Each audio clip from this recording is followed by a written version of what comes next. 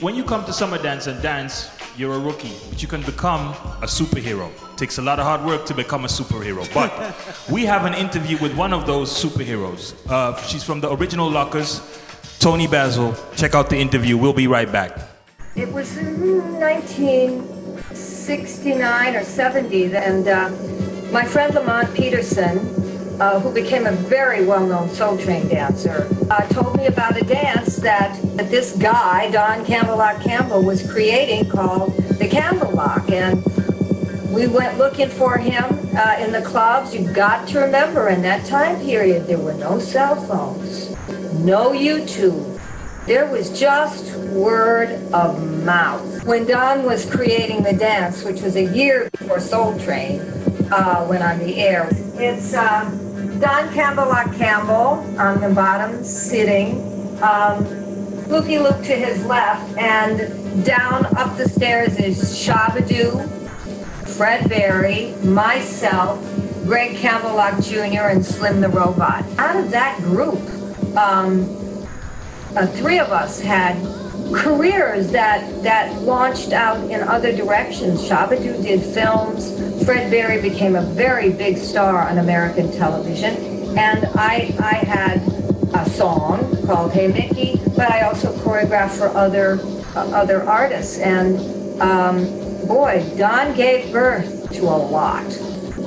And uh, one day, Don Campbellock Campbell blew through the side door of Osko's, which was on La Cienega Boulevard, and Lon said, that's Don Campbell, but he didn't need to tell me because I saw someone in striped socks and knickers and a, a hat um, that was doing a, a, a dance that was unique to American culture and something I had never seen before since James Brown.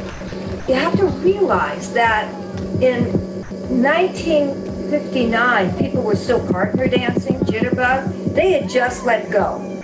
They just had use of their hands for 10 years. People were doing the pony and the twist and the jerk and the skate. And all of a sudden, Don Campbell, he, he brought in communication where he could talk to the audience with his hands. And that gave the dancer the legacy of not having to dance behind a singer to tell a story. There were no battles. There was just club. There was just uh, dancing for the sake of dancing. There was no, no image of a career in street at all until Soul Train happened, which was in 1971. When we did contests, we would do them for an audience. We would go to a club, a little bar, and for 50 bucks, if we won, we would solo facing the audience. And then the audience would applaud. And whoever got the most applause was the winner. So there was a factor in of performing and drawing in an audience that developed in our dance. My favorite battle at Summer Dance Forever was 2018 uh, with Flowmaster, who actually studied with an original locker, Greg Campbellock Jr., and Little Jang. And he really, uh, he not, it, it wasn't about, it wasn't like just about and technique. It was in relation to the audience. Flo entertained the audience as he was having a deep, deep conversation with Little Jang. And the conversation changed through, throughout the rounds. And uh, it was, it was, for me, the closest I'd ever seen with a battle encompassing everything that locking was about. It was about performance. It really wasn't a social dance. There was a desire to take over the club, to take over a staircase that might lead up to the sta- to the stage, or you know, lock and sit down at a chair and jump up and move to somebody else. And the guys would have these literally dance conversations with people that were sitting and watching. And all those looks and points had a, had had a, an emotional meaning behind them. So so the dance was as it was developing and being created in, in the early days with the technique and the level of dancer that it attracted, um, it, it, it also had an organic feel.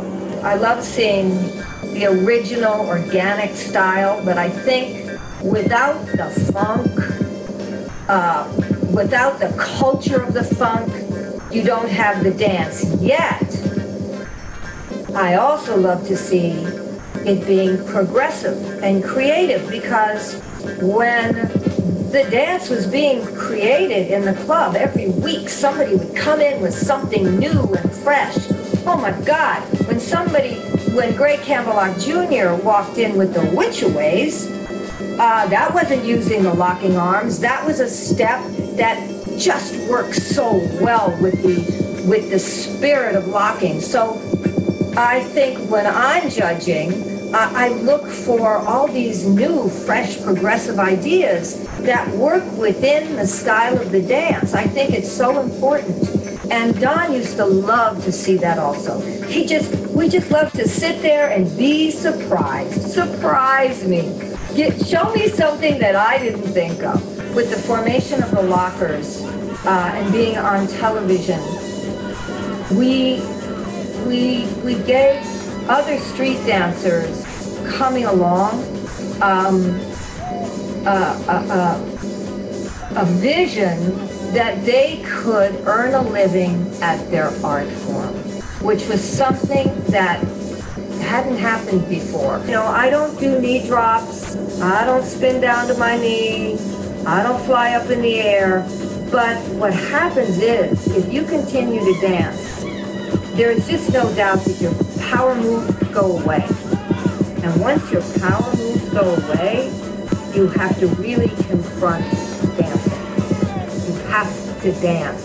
You just, you have to find another way to have a power move. Uh, this year, Don pa- passed away, March 30th, 2020, um, and it's it's it's really wonderful for me to be talking about him and the lockers. I don't think we ever dreamed that there would be international events uh, celebrating, you know, our dance.